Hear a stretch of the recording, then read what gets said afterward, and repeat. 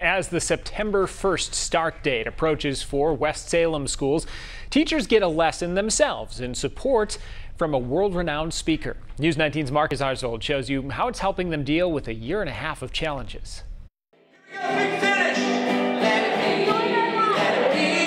We take care of each other as a group so that we can take care of our students. In Miss Jarash's classroom, attitude is everything. It truly is the energy you bring and the attitude you bring to any atmosphere that creates that learning environment for our kids. The staff brought a lot of energy to author Joe Beckman's kickoff speech. Zoom meetings behind us, in person in front of us, everyone seems to be uh, a whole lot more ready for that. Beckman acknowledges how important technology is as a tool but he hopes humans can connect more this year. Now that kids are back, I think it's imperative that we are being intentional about looking up because that's where the real lessons of life are learned when we're in experiences with other people, not looking down at a screen checking out. Ms. Jarash agrees. It's a tool. It's not our go-to resource of how we operate. Connecting with kids and reading and laughing and and games and, and science labs, the more hands-on and the more you can engage, the more connection you can make with kids. A connection that the staff says needs to be in person,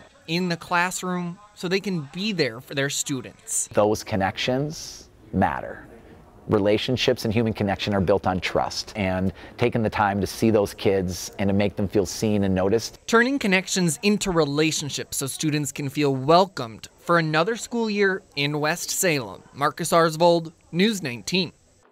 Now, currently, masks are optional inside West Salem School District buildings, and the administration says it plans to keep it that way, but also monitor COVID 19 case rates in the area, and they could make changes if that becomes necessary.